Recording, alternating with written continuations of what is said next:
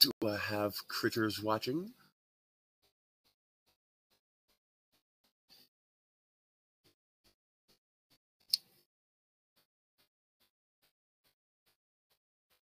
Ah, yes, eight critters watching.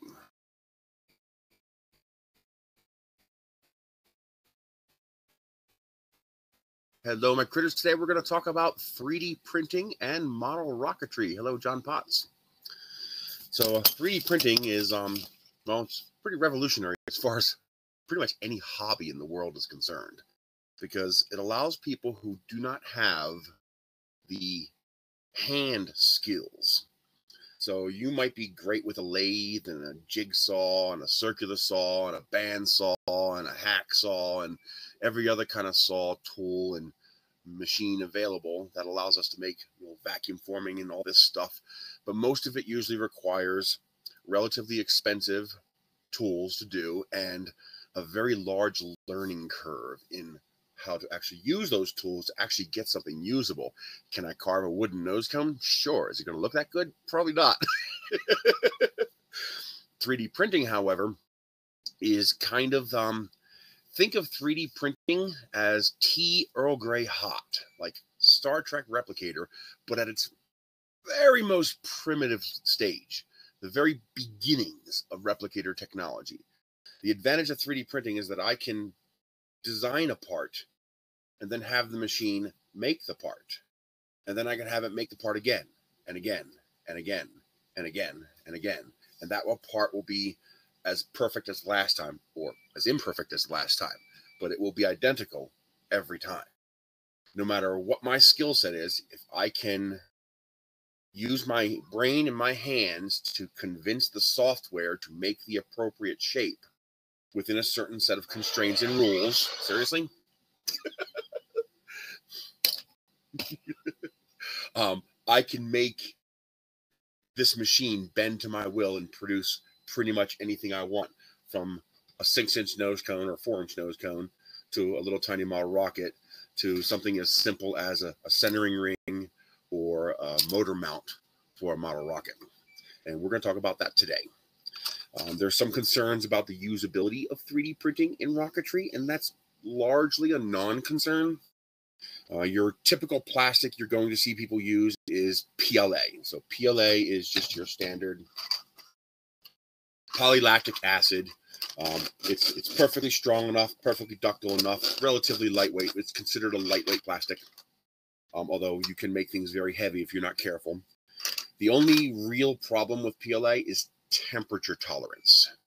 So if it gets too hot, it softens. Interestingly enough, this is not likely to happen inside your rocket during a flight. Where this will happen is inside your car on the way to the field because your car can easily get hot enough to soften and deform these plastic parts. The only real concern in the model rocket is the engine temperature itself and the ejection gases, and that's solved pretty easily. Um, I've pretty much stopped buying model rocket components altogether. I don't need to. I fabricate anything I need. And I just design it in software, free software, Tinkercad. Everything you're going to see here today, I made in Tinkercad, totally free WYSIWYG software. And the only thing I buy is paper tubes. Technically, you don't even have to buy the paper tubes. You can print your own tubes, but that's not very efficient. They're going to be relatively heavy and not as resilient as a simple paper tube. So I keep a stock of paper tubes and everything else that I need for rockets from launch lugs to centering rings, motor retention, um, dividers, E-bays, camera mounts, nose cones, even fins, everything. I can 3D print and then simply attach to the paper tube like you would any rocket. And you can get relatively complex too. So, for example, here's the hex that I designed. Uh, this is a complete rocket. This is flown. So, if you were at NSL 2021, you saw this fly. Uh, this rocket's actually modular. This is some of the cool things you can do with 3D printing. So, paper tube, plastic nose cone, plastic centering rings, plastic fins, plastic launch lugs, plastic motor retention, and then, of course, there is a paper tube inside there for the engine. That is more than sufficient to shield the plastic from the heat of the engine. The, the heat, insufficient amount of heat will pass through the cardboard tube. Oh, we're gonna oh, we're gonna show you that too. You you jig builders are gonna love 3D printing. um, this rocket is actually modular. I can actually take it apart.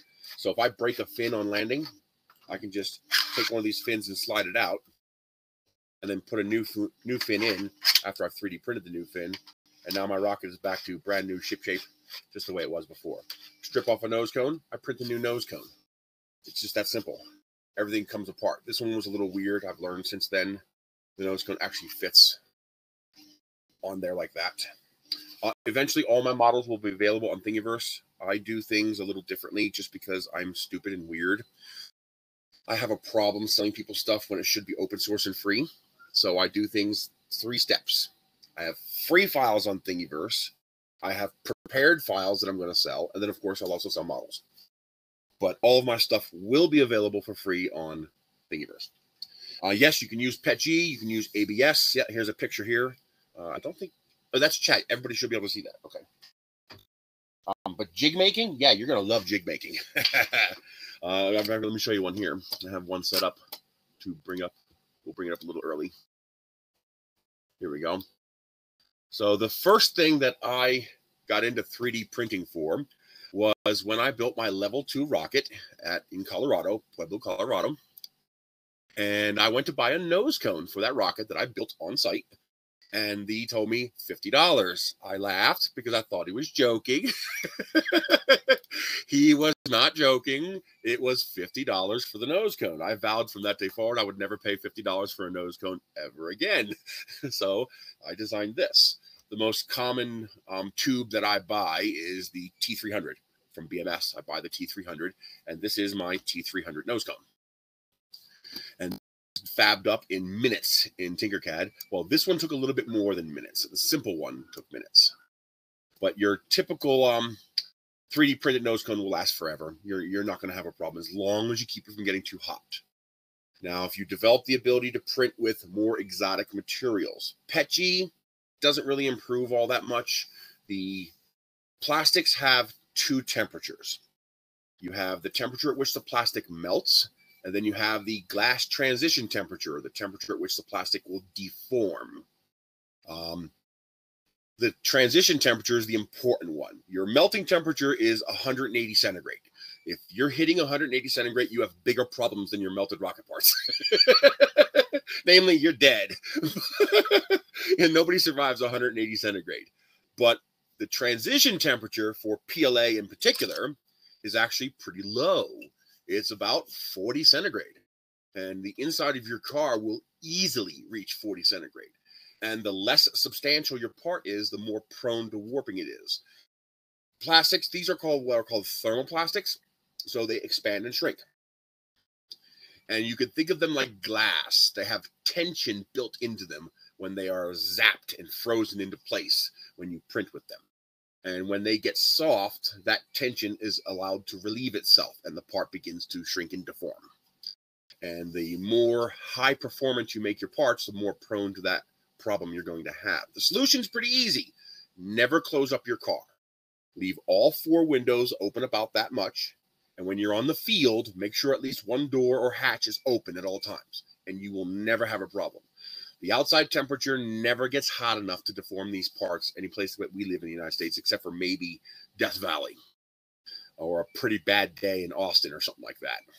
But typically, you're never going to reach those temperatures. And a part just finished printing, by the way. um, you're never going to reach those temperatures under normal conditions. Now, there is an exception to this color color is critical. So, for example, this part is not going to have too much of a problem in the sun. This part, however, might have a problem in the sun because heat comes in two versions. So you got to learn about thermodynamics when you print with 3D printing. You know, we are rocket geeks after all. Um, heat comes in two basic simplified versions. You have conduction and you have radiation. Conduction is direct transfer air to plastic, hand to plastic, etc. Touch a stove, that's conduction. You put your hand over a stove, still conduction. The hot air coming off the stove is what's hitting you, and you're feeling that. However, go outside when it's 10 degrees Fahrenheit and bask in the warmth of the sun in the morning.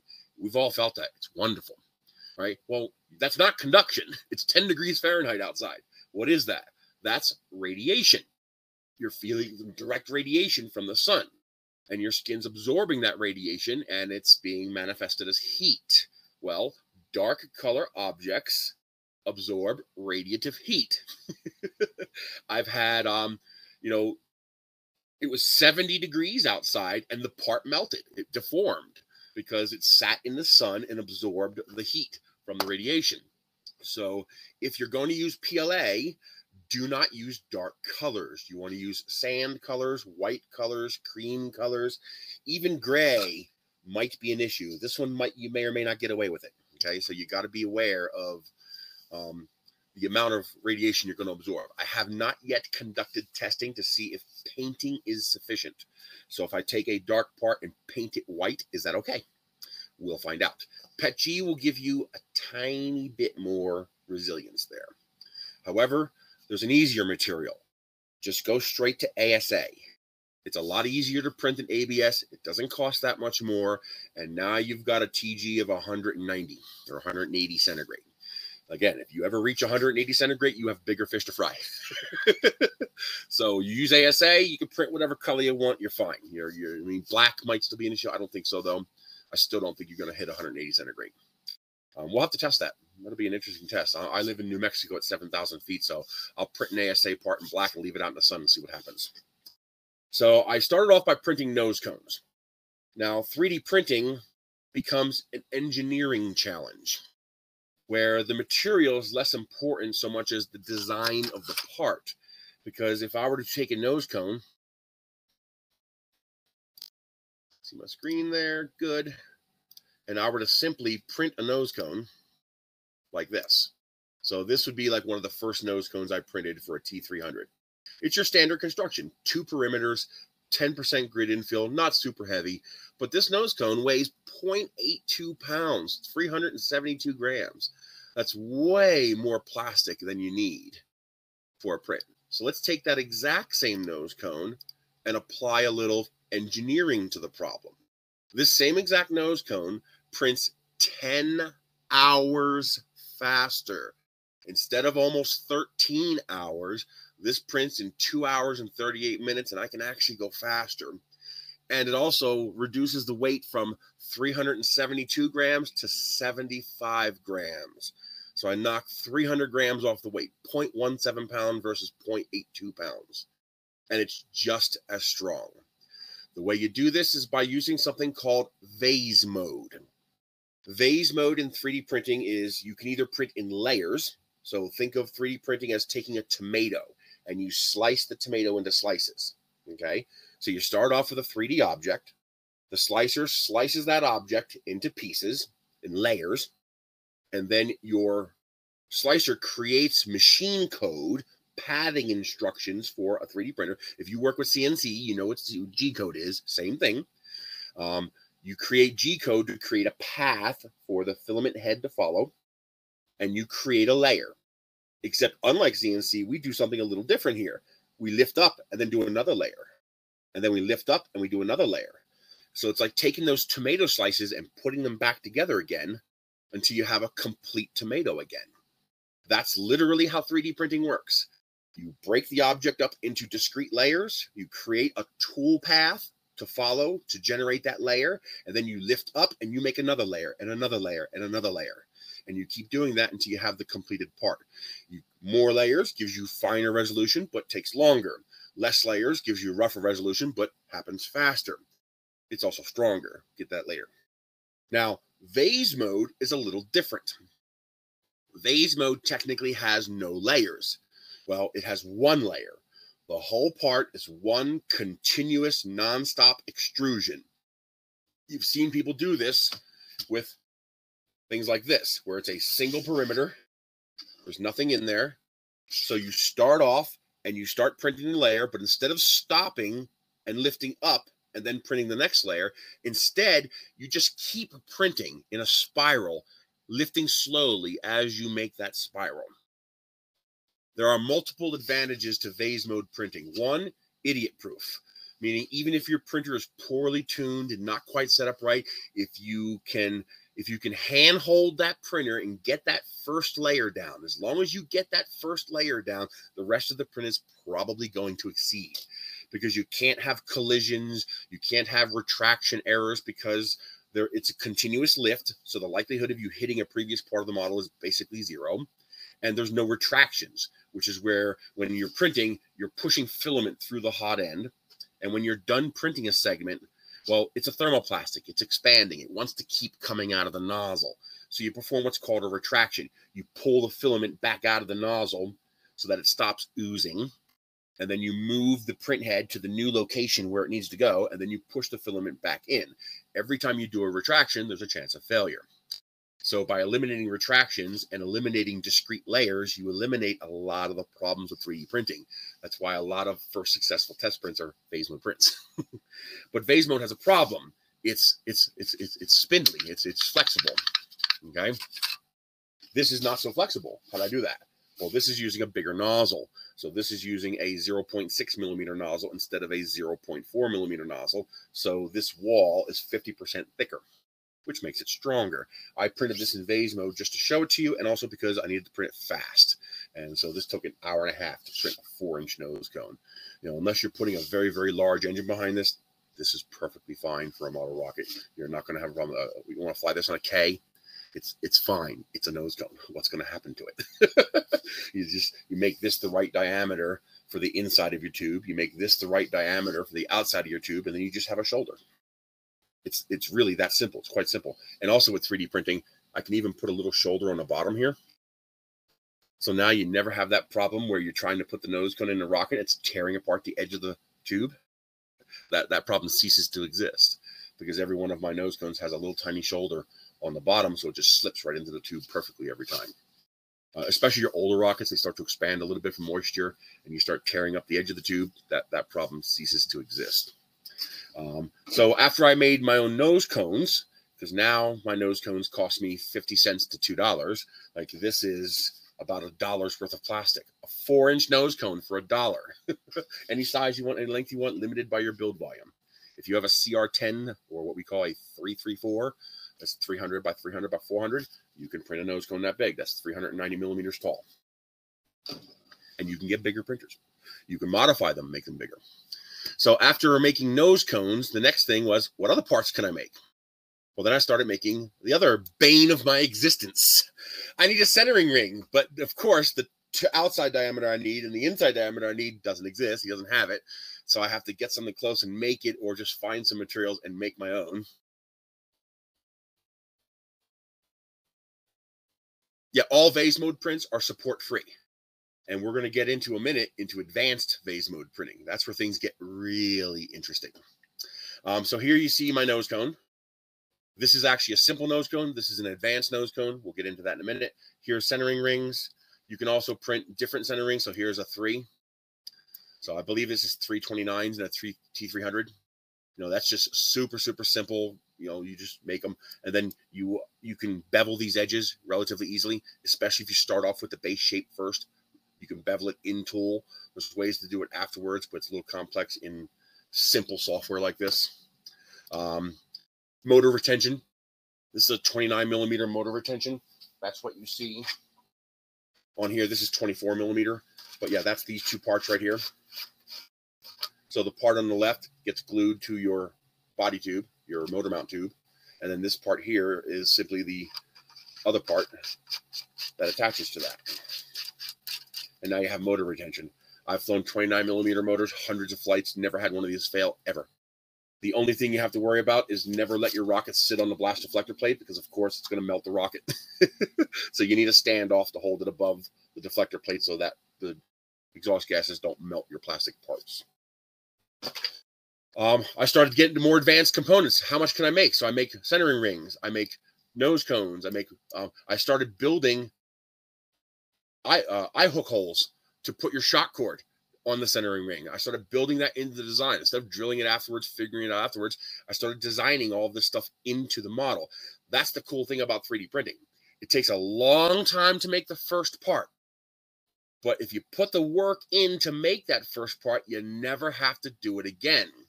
So then I started making more advanced stuff. Um, friend of ours wanted some help. Um, he flies with kids and he wanted to, he, he was having trouble getting replacement parts for his E2X rockets. So what you're looking at here is an E2X rocket. it's everything. It's every part you need for an E2X rocket. This is the fin can with the slots for the fin. This is the fin, which mostly prints in vase mode. This is a coupler if you want to join two tubes together to make a longer rocket. And this is your nose cone. And all of these parts, every single one of these parts, except for this top little piece of the fin here, so that would be this red section here. Besides that little red section, this all prints in vase mode. So it's fast, it's relatively error proof, and you end up literally. I tested this one to failure to see how much it took to break it. It's surprisingly not to break it. You end up with a complete E2X rocket. So this is your nose cone. So your nose cone, vase mode printed with um, attachment points for your shock cord built in. That all prints as part of the nose cone. Your fin can. Um, this one has separate launch lugs that I print. I print these off like a dozen at a time. Now I actually integrate the launch lugs into the design. So those launch lugs are actually printed during the vase mode operation. Yes, even the launch lug is vase mode printed. We'll get more into how I did that. Fin can vase mode printed. This one has the motor retention that I designed. The fins pop off you can replace them. You can put them on differently if you want. This one doesn't go backwards. You'd have to actually change it in the software um, because the, the slot is one way. But I can design any fin I want. If you were at the last um, two Narcons ago, you saw I had a whole bunch of different parts, drop off tanks and stuff like that. Just anything you could design can be all fitted into that slot mechanism. And you have the only the only thing paper that you need is the body tube and the motor mount tube. Everything else is 3D printed for a fraction of the price and a fraction of the time. It really is pretty amazing. So then someone said, well, what about doing the whole rocket? Doesn't normally make sense to do the whole rocket 3D printed, but you can. And you end up with something like this. So this rocket's actually two pieces, but this rocket here would require a pretty decent amount of nose weight. So I also printed an extension tube so that I don't need nose weight now. But this is the real special thing is this part here. This is where I put all the work into. Now, this is one single vase mode printed part. No bottom layers, no top layers, no discrete layers, no added on parts. And this is a complete fin can, including the diameter change for your motor tube, including holes that pass all the way through so you can feed your shock cord down and tie it off. The fins are built in, reinforcements both in the middle of the fin and at the root of the fin to make them perfectly straight and nice and stiff. So very little flex. If you did that to your balsa wood fin rocket, you'd have two pieces right now. Even the launch lugs are fully integrated. You can see there's actually a line going down the middle of the launch lug. That's to allow the vase mode operation to occur. We're going to get into that in a minute. And this tube is double wall. So you can see there's an inside wall and there's an outside wall, and then there's ribs connecting the inside wall to the outside wall. So it's a fully engineered, integrated structure, and this weighs nothing. This is like 28 grams or 38 grams, 28 or 38 grams, something like that. It's, it's very, very light. This whole rocket is very, very light. Um, and then you, these are three vase mode printed parts, put them together, and you have a complete rocket. If I damage a part, I simply replace the damaged part with a new printed part and put it together. Now, this one would have to be glued, of course, but you could also just tape it. And I came up with that solution too. I was like, well, you know, people are complaining, you know, 3D printing's no good. PLA, your typical standard PLA, has the same tensile strength, actually slightly higher, as plywood. If you can use plywood parts on a rocket, you can use 3D printed parts on a rocket. Yes, that includes level one, level two, and level three. There is no limitation to what you can do with 3D printed parts. It becomes an engineering challenge. Just like if you put an M1900 in a rocket with eighth inch plywood centering rings, it's going to blow straight through the top of that rocket like a Roman candle if you try to use eighth inch plastic centering rings. So, same deal. You have to engineer the components.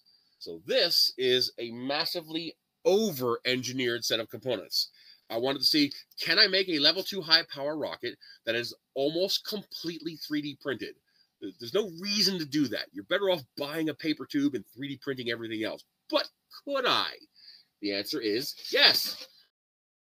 I can completely 3D print parts that interlock and screw together. This one's not perfect because I had to modify the design there's a gap there. This this is revision two, so that gap should be gone. But now I have a four inch body tube, and I just finished printing a modular 29 millimeter motor mount that, if this works, it should, it should thread right in here. Oh yeah, look at that. There you go. I just threaded a 29 millimeter motor mount, including places to mount your shock cord into the bottom of the rocket. So I can put this all in a suitcase and assemble this rocket on site. These parts are short because the most the most common, the most popular 3D printer on earth is the Ender 3, which has a 220 by 220 by 250 build volume. So these parts are all designed for 245 millimeter height limit in order to make sure you can use an Ender 3. However, you can also print the 390 millimeter parts so you don't have as many for um, if you have a CR10. So I can, I already have it designed, have not printed it out. I can take this out. The only glue I need for this entire rocket is to glue the motor mount tube inside of this piece here. The paper motor mount tube, which will come out to about here, because you're, you're going to want a stuffer tube going up toward the top more, because it's going to be a six foot tall rocket. Um, it's going to fly on a K. Um, the only paper part you're going to use in the whole rocket is the motor mount stuffer tube, and it's beveled, so for easy install.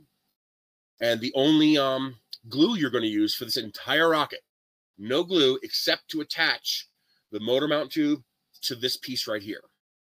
And and because that's paper, in theory, and I might do this, I could have two pieces that glue onto the paper tube so that you don't have to glue anything to this. So if you damage the paper tube, you can tear it out, install a new paper tube with two new end caps. This way you never have to replace this unless it's damaged. I can unscrew the 29 millimeter mount and then screw in the 38 millimeter mount or the triple 29 millimeter mount or the quad 24 millimeter mount, whatever you want.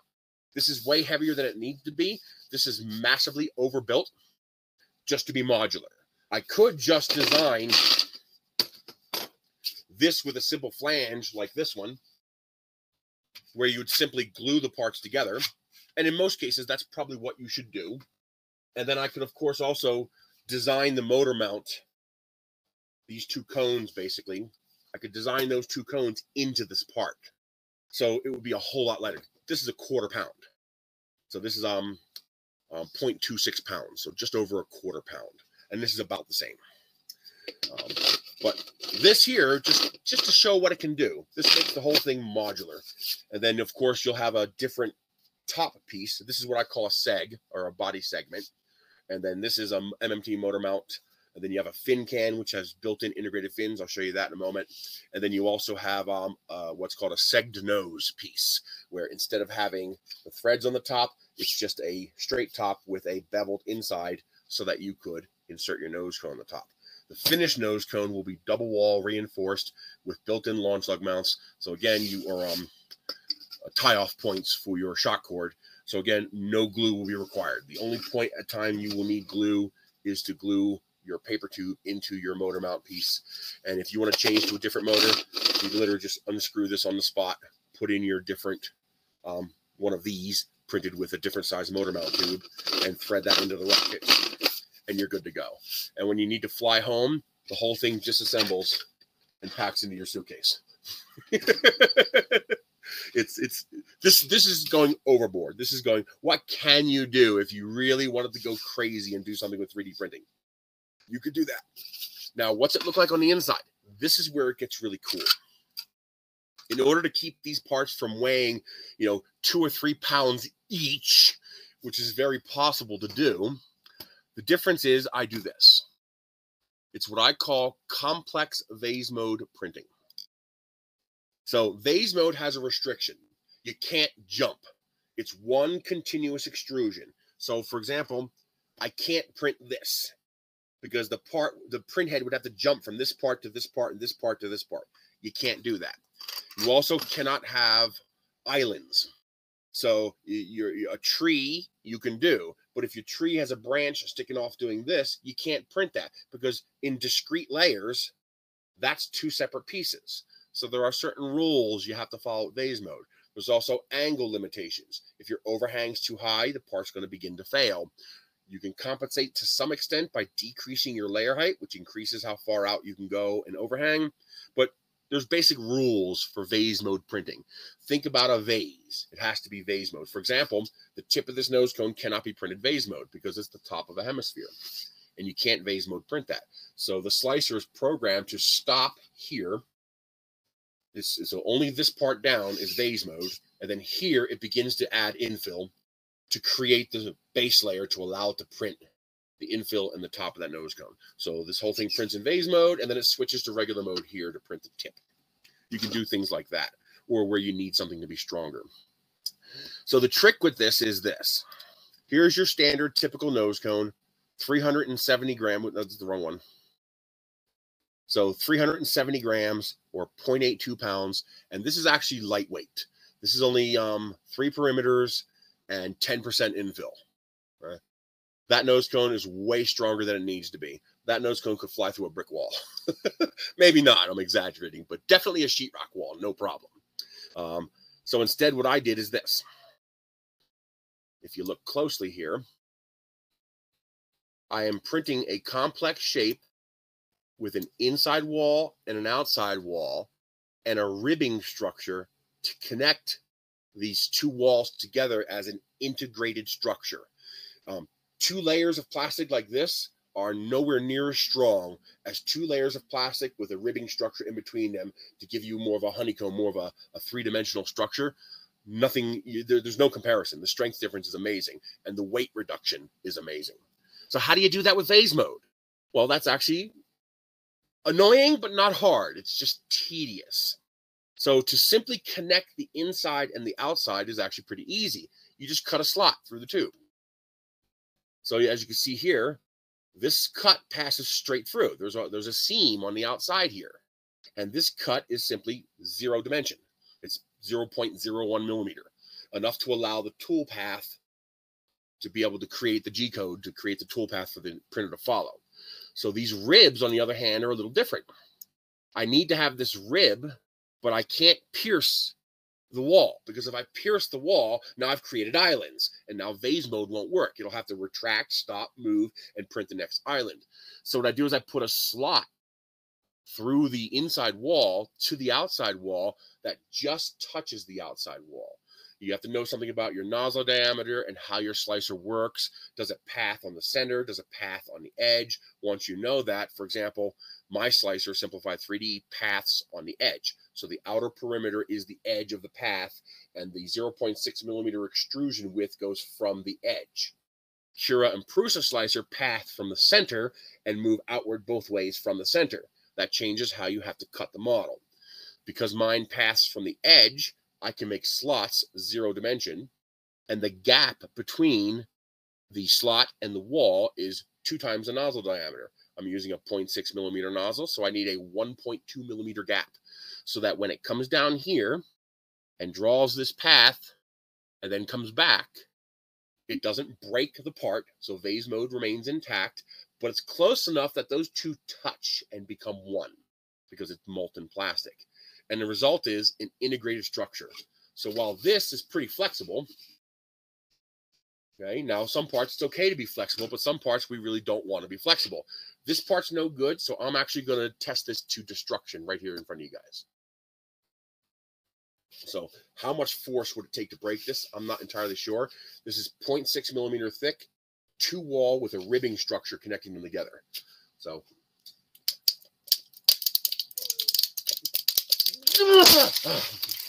okay.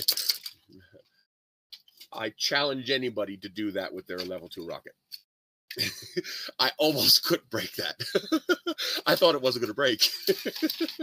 I almost couldn't break that. And that's two walls of PLA at 0.6 millimeter. If your paper rocket can handle that, that's a lot of fiberglass and carbon fiber. Okay, and you're certainly not doing it at the quarter pound that that part weighs. So that's that took a tremendous amount of force to break that part. I turned red.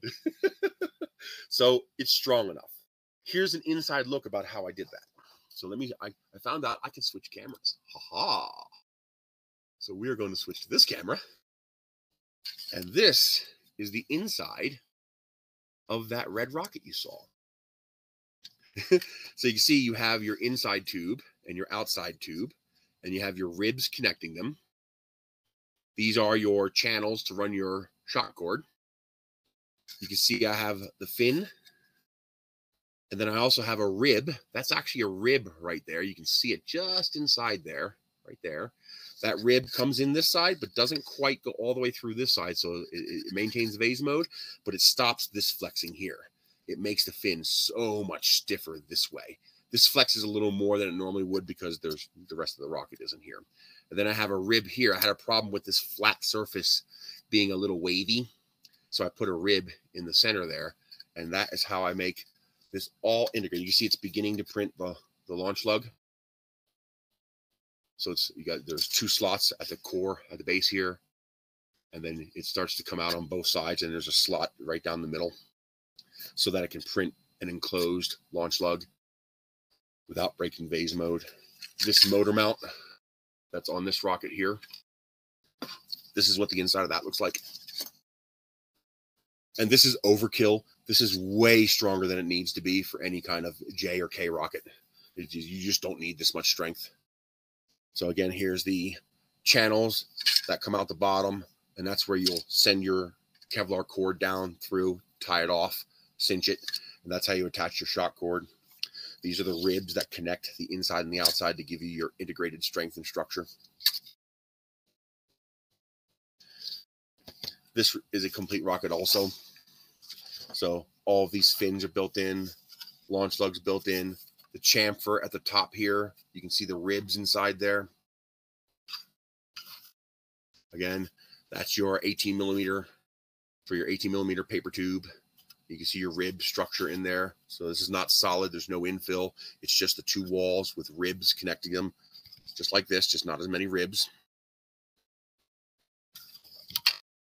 To show you more of the designs that come out, because we're running close to time now, because I want to give you guys time for questions. Um, here is the fin can I'm working on. You can see the complex structure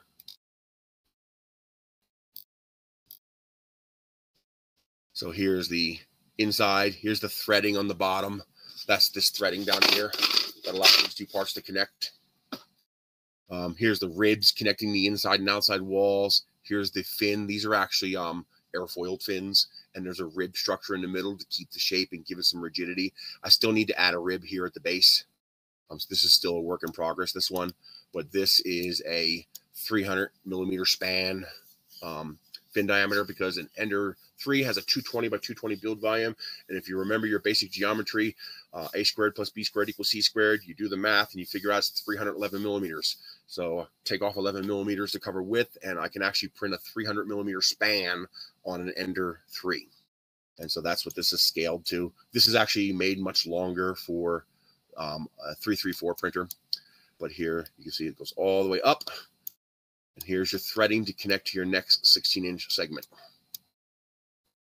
So I can make this rocket in four pieces or three, pe uh, two body segments, a nose segment, a nose cone, and a tail cone. So five pieces, and you'll have a complete level two rocket.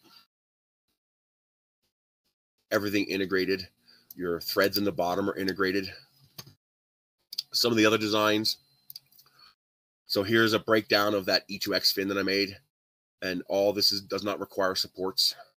And the green part prints in vase mode. Uh, here is this red rocket that you saw. So you can see all the different cuts and things that go into it. This is your pass-through cut that makes these parts all vase mode compatible. These are your reinforcement ribs. These two here, reinforcement ribs, complete nose cone and body tube. Uh, here's a little fin ring design. A little heavy, but you know, it looks cool. Here's that space fighter or one of the space fighters. Again, here is your retention for your nose cone. And here's your centering ring for your stuffer tube that goes up the center. Remember that makeshift rocket someone posted to the group? Yeah, I printed one. I made all the parts. There's your nose cone with your your cap. The parachute would be inside there. Your T300 tube runs right up the center. Built-in um, barrel ring fins on the bottom, and I even got the astronaut to put on the top. This rocket's heavy as all crap, but it's worth it. It's so much fun. I can't wait to fly it.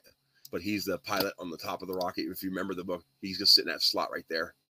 I started off with this barrel and just started putting it together. This is printed in vase mode with a 1.2 millimeter nozzle, so it's bulletproof.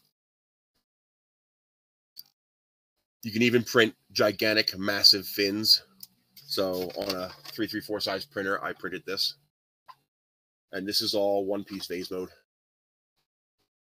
Now this still needs the rib structure installed in the center here. That's the reason for that little rib is to keep it, see how, see how it shrinks? See how it wants to open up in here? So that rib structure would stop that from happening. But there's a, a pretty massive fin. Just to, what can I do? And then here's the final part for the rocket that I'm working on right now. So here's your 245 millimeter tall part. Here's your 400 millimeter tall part, depending on what printer you have. Here's the two motor mounts. And I even built in markings. Uh, I hate when it does that.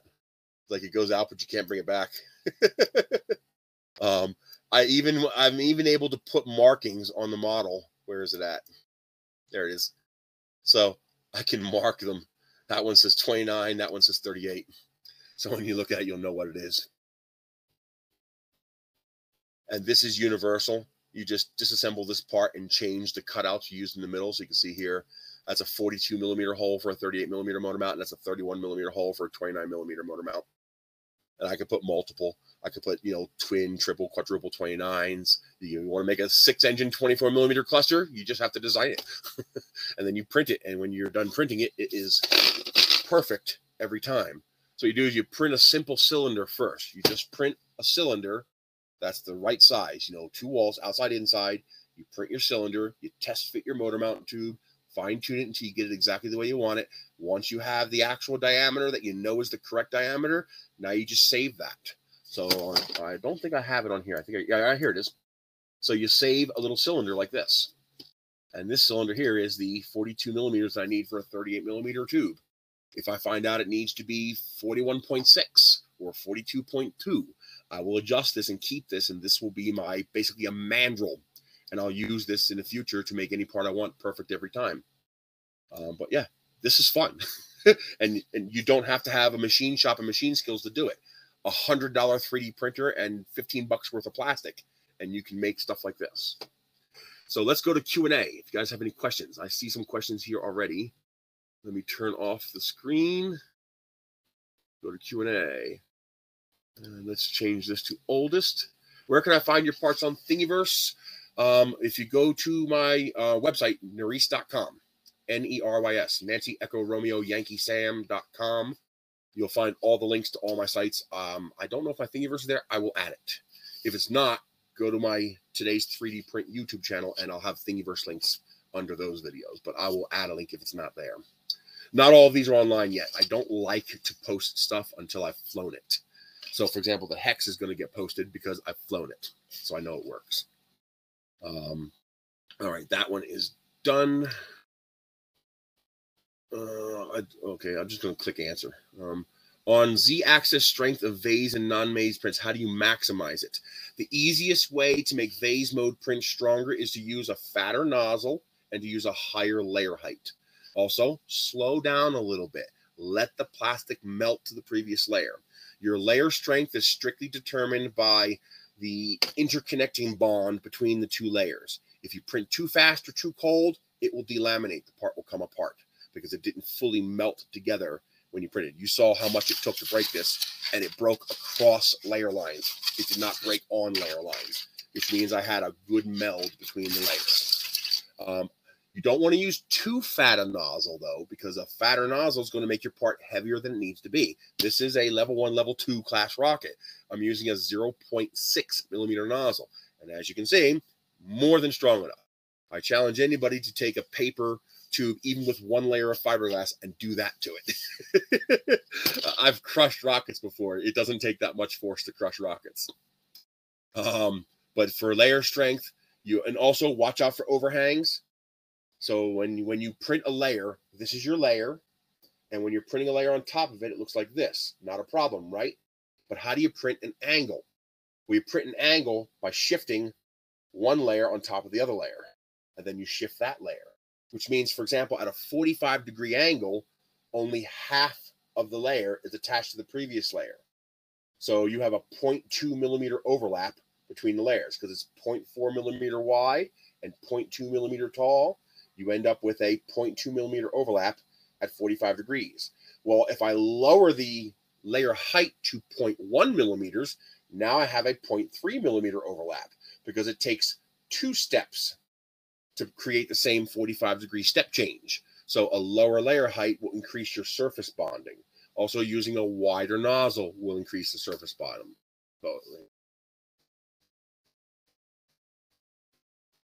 Uh, well, it depends on what slicer you're using. If you're using Prusa or Cura, the gap between the inside rib and the outside rib and the outside surface is 1x your nozzle diameter. If you're using Simplify 3D, it's 2x your nozzle diameter. So if you if you use Cura and Prusa, you want to design all your ribs, and it has to be consistent. You're also going to have to play with your thin wall behavior, either turning it off or setting it correctly. Uh, yes, I can show that. I'll show how to do the Tinkercad ribs. Design technique software complex vase mode, your brain. Uh, it's all manual. I use Simplify 3D for my um, David Ashwood slicer. I use Simplify 3D. Uh, complex vase mode prints, I'm using Tinkercad. I'm going to show a close up of that in a moment. Um, how to do ribs in Tinkercad, that's the same question from David and Ben Cook. So I'll get that in a moment. Um, and I'll show you with the um, the vase mode printing also in the settings. Uh, let's see here. Uh, Z-axis strength, we answered that. Wider layers, higher temperature, slower print speed. Uh, I will provide a link to Thingiverse uh, from George Racker, so I'll have that available. I think I got them all. Okay, so let me show you. We have time. Let me show you the ribbing structure. This is probably going to be the best one. Share screen. So here is the ribs that I added to the model. So if we were to look inside, if I make this part transparent so that we can see inside the part, you'll see this rib pierces this fin, but it does not pierce this side. So because I use Simplify 3D, the gap between this rib here, oop, wrong one. The gap, why does it keep grabbing the wrong part? Ah. It's got like a fetish for grabbing that part down there. So this rib here is a flat edge, which is possible because this fin is flat. Okay, a rounded fin gets a lot more complex. But the the important part is this gap between this rib as it pierces this tube or this um fin and comes to this side of the fin has to be exactly right and you can't scale it. You can get away with maybe 10 or 15% scaling. After that, you're going to break it. You'll either bring them closer together, which will pierce the outer wall, or they'll be too far apart for the parts to meld together. Also, you're printing in vase mode, so always print at a flow rate of 100%. Like normally I print at 0.96 to 0.94, 0.98, depending on what part I'm printing. But because it's vase mode, you don't have side-by-side -side layers. So always print at a 100% flow rate. That's going to give you a little bit thicker wall, and it also guarantees the two parts will meld together when they come close together. You'll know the parts aren't melded because you'll grab it and you'll feel and hear the scrunch, scrunch, scrunch as the parts inside are moving because they're not actually melded together. Um, so to do this, for this simple one here, I would simply create, why is this so slow? So I would simply create a work plane on this side I would put a block on this side. I would then put the work plane on this side of that block. And then I would take this part, which is now moving vertically relative to that block, and I would move that so it is, if I'm doing a 0.6 millimeter, this is a 0.4 millimeter, so I would do a 0.8 millimeter gap. Now this fin edge is exactly 0.8 millimeters away from the edge of this wall here. You can see it shining through there. That's how I get that. For more complex shapes, this gets very complex very quickly. But let me show you. Where is the nose cone? Not there, not there, not there. Um, there it is. So this one here, you can see this has a rib structure inside. You see all the ribs inside there. This gets a little complex. You can't scale the part. If you scale the part, you distort the angles. It has to be a one to one translation, not a scaling. So here's how you. well, it was a bad one because it didn't fit. So I figured I can destructively test that. I'm I'm actually impressed it took that much force. I knew it was going to take a lot to break it. I didn't think I'd turn red trying to break it. I was really trying to crush that thing. And I mean, of course, if I take my fingers and tried to shove them in, I'd probably go through. But to actually crush it, that was impressive. I wasn't expecting it to be quite that strong. Um, so this one here, I'm not going to use this tip because the tips will cross and you can't vase mode print a tip anyway. So what I'm going to do is I'm going to grab everything below this tip so I'm going to grab these parts. I'm going to hit Control D, which is a duplicate command, and that comes out and gives me a second nose cone without that tip. Okay. Now I join the parts together. This is where it gets complex pretty fast. I'm going to flatten this part to a two-dimensional object, 0.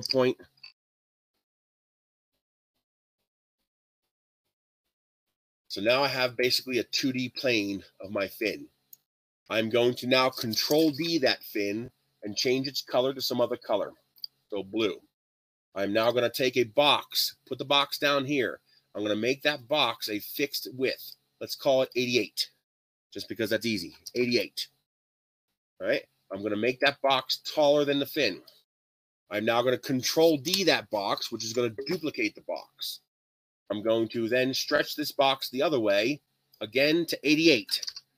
Both halves need to be the same size. The engineers out are going to figure out pretty quickly what I'm doing. I then join the box together. I then select the box and those cone, two of them. Remember, there's two in there. And I do a center alignment. I align the nose cone center on center. I then unselect everything. I select the box. I separate it into two halves again. I take one half of the box and I hide it using the little light bulb here. I then select the cone, hold down the shift key, select the box, join them together. Oh, it didn't select. Select the cone, hold down the shift key, select the box, join them. Now it's going to cut away half of the box. I then restore the hidden box. I select the other half of the cone, hold down the shift key, select the box that I just made visible. Join them together. I now have two halves of the nose cone. I now need to translate this. You see, I have some errors here. That's a Tinkercad thing. Keep your shapes as simple as possible. If they get complex, you start getting glitches like this. So take this into a new work plane to do this, but we're going to continue on anyway. If you see glitches like that, you got to simplify, create a new workspace because Tinkercad gets weird when you get too complex. I now select this piece I hold down the shift key and I translate left. This is a relative movement dimension. So this is relative to my last position. I'm going to use a 0.6 millimeter nozzle. Because I'm using Simplify 3D, I need to double that to 1.2. If you're using Cura Prusa, you stick with your nozzle diameter. So you'd use a 0.6. I'm using Simplify, so I'm going to do 1.2. 1.2 millimeter translation. I then take this half and I translate it to the right. It's a negative number, negative 1.2, two times my nozzle diameter. Now you see they overlap. I then select both of them, join them together. I'm also going to cut off the top half of the box, of the, the part, because I don't need the whole thing to be vase mode. I just need the, the curved part to be vase mode. Select that, chop it off. Now I have my cut plane. I turn that into a hole. This will now cut into the model. So once again, we're going to take, oop, come here. We're going to take the whole nose. There we go. We take the whole nose cone, duplicate it again, put it over here, join these all together as one part. I hate that it always picks dark colors, which suck. Just take this piece, you put it inside the nose cone, select them both, do an alignment, center, center. Now take the nose cone and hide it. Here's your centerpiece. We're going to select it. Gotta wait for it to finish. There we go. Select it. Hit Control D. Now, the Tinkercad has an array function. If you perform one single command only, you can duplicate that array function. So we're going to come in here and I'm going to move it 22 degrees. Done. Don't touch anything. Now hit Control D again and it'll repeat that ad infinitum. Control D, Control D, Control D, Control D, Control D, Control D. I now have a whole bunch of cut points. I'm going to do it one more time, which is going to give me two of these points in the center here, which is important. So I'm going to select that center one. I'm going to hold the shift key and I'm going to slide that sideways. That's important because remember, one of these ribs has to pierce the outside of the cone. I then take, um, bring this cone back.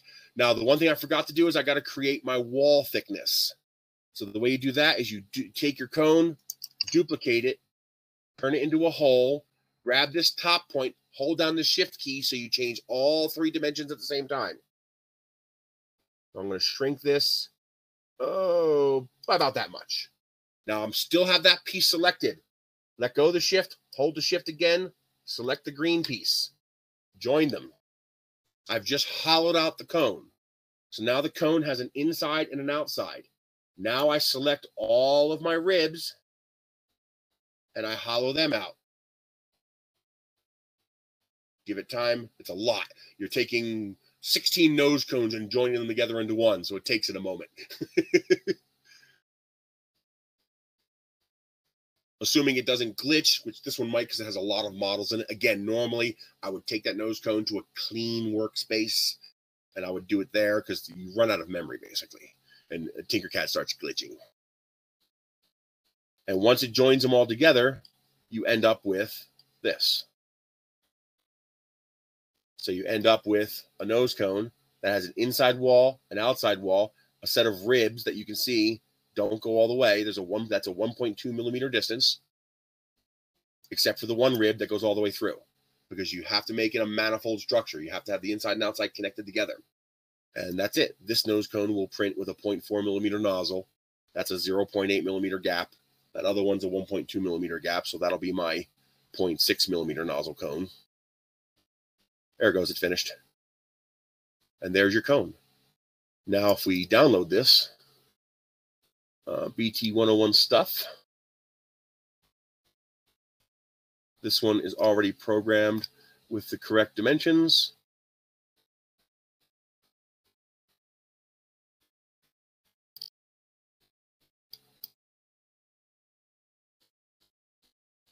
And there we go. Now I have a vase mode printed nose cone with no glitches. Make sure you turn on retractions and tool head.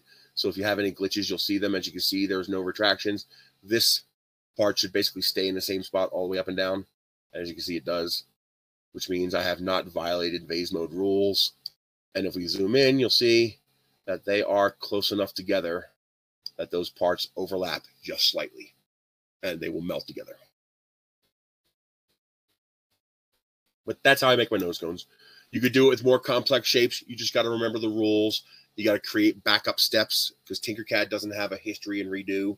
So you got to, when you get to a complex step, you duplicate the entire model so you can back up to that step if you have to. But that is how I create a nose cone that will weigh 130 grams. That's a 130 gram nose cone because I'm using a 0.6 millimeter nozzle. And that is a BT 101 nose cone. That's a very large nose cone and it only weighs 130 grams. Any other questions? I mean, did I skip any? Uh, glue's most appropriate for PLA ASA. Uh, super glue works. I advise using tire glue or rubber glue. That's the black CA. The black CA has rubber impregnated in it, so it's not brittle like regular CA. Um, AP motors do not use CA, use epoxy. Because CA, even well, the rubber glue might survive. It depends if you put like a warp propellant motor in there, it might still crack. Um, but a rubber CA might hold up, especially since the parts are integrated. But you're still better off using epoxy because the initial pop of an AP motor going off can actually crack CA. Ask Mark McReynolds with his level one flight when the motor shot straight up through the rocket like an ICBM. That's because he used CA. So when that shock wave hit of that motor lighting, it actually cracked the CA and the entire motor mount assembly went straight up through the rocket. I'm using Simplify 3D. I'm using Tinkercad. I showed you how I did the ribs. Um, um, Tom, you can contact me later as well, and we can go over. Um, you can maybe send me one of your files. and I can try to figure out what's wrong with it. It can be a little hard to figure that out, but I can try to help you out with the um, things. But that's the basic rules. If you're oh, also um, my ribs were 0.01 millimeters, basically zero dimension. However, if you are using Prusa or Cura, those ribs need to be 1x your nozzle. So both your rib and your distance to your wall have to be 1x your nozzle diameter. So you can't use a zero dimension rib like I am. You, if I were using a 0.6 millimeter nozzle, that rib would have to be 0.6 millimeters thick. Otherwise, your two lines will overlap on top of each other in the slicer because your slicer is doing halfway. Um, Oh, absolutely. If you're into rocketry, you must get a 3D printer. Camera mounts, eBays, nose cones, retention, launch lugs, centering rings, motor mounts, fin cans, fin units, modular components. The sky's the limit. you can do anything. And once you get into fatter nozzles, you can even do open air ABS and ASA printing within limits because the um the, the layers are so wide that they don't crack the 0.4 millimeter layers will just pull apart unless you have an enclosure. But um, I could I could print this nose cone like here. I printed this. I printed this vase mode print open air, and this is ABS or ASA. I'm sorry, this is ASA. This is also ASA. These are both vase mode prints, by the way. It's one of the reasons I was able to get away with it. 1.1.4 millimeter thick nozzle, ASA print, open air print right here on this printer right here but that's because I was printing a 1.4 millimeter layer and 0.6 millimeters thick. So really fat layers that didn't tend to pull themselves apart. Um, so you can get away with that with the bigger components. But otherwise, you can literally just take a cardboard box and put it over the printer. Give you know, get a cardboard box bigger than the entire footprint of your printer. Don't forget about how far that bed moves back and forth. Okay, it's bigger than the footprint of the printer. Um, get a big cardboard box, cut a hole in the side of it, put a piece of um, plastic over the hole, and then literally set your printer up, get it ready to go. You put the whole cardboard box over the printer. You can even do a trash bag, a little riskier, but um, cardboard box over the entire printer with the hole. Put a light inside of it so you can see what you're doing, and then don't touch it. You have to keep the air inside of that enclosure relatively warm, otherwise the parts will pull themselves apart when you print with ABS or ASA. Um, vase mode helps, thicker nozzles help, but you're still going to have shrinkage. Um, PLA is actually stronger than ASA and ABS. PLA is the strongest conventional material we have to print with. The only thing stronger than PLA would be um, nylon. Now, if you're printing with nylon, you need an enclosure, you need a higher temperature, but um, nobody has built a level three rocket as strong as a nylon printed part. you, you print nylon parts. You, as in the context of rocketry, you can call that indestructible. you, are gonna you're gonna have to plow that thing into the ground, at, you know, at sizable speed to break, you know, not properly designed nylon printed parts and polycarbonate. But PLA will work for just about everything, and ASA will work for 99.9% of everything. That's it. I will see you guys later. Um, did I miss any other questions? Nope. Thank you for watching my YouTube. I appreciate it. Um, yeah, and and if you have a oh, what's it called? Is it Micro Center? I think it's Micro Center. I think they still have a coupon for a $99 Ender 3. And if you don't mind waiting a month for shipping, You can buy an original CR10S, you know, the one with the dual lead screws. You could buy an original CR10S on AliExpress for 170 bucks. That's a 12 by 12 by 16 inch build volume. You make parts like this. And that's big enough to print pretty much anything you want. You know, there's very few things you won't be able to print. Um, and of course, you can just assemble multiple parts. um, but you, if if they still have that coupon, and if you have a micro center near you, you'll have to check. Um, you should be able to get an Ender 3 Pro, which I actually helped design, um, for 99 bucks from Micro Center. I don't get no kickback or anything on that. I just gave feedback to the company, and they took it and made the printer better. But any i3 size printer. If you have a Bambu Labs, that'll work fine. If you have a Prusa, that'll work fine. If you have a, a Neptune, that'll work fine. If you have a Fokoos Odin, that'll work fine. If you have a A10 from Geeetech, that'll work fine. They're all Ender 3 clones. Anything with that 220, 220, 250 build volume, you can build almost anything you want. So you can make this on an Ender size printer. You can make, um, where's the mount? There it is. You can make these. All of this can be printed on an Ender 3 sized printer. The only advantage the CR10 gives you is you can go bigger than six inches and you can go taller than eight inches. So you can print a you know 12 inch tall or 16 inch tall part if you want. All right, that's it. I will see you guys later. Thank you very much for joining in.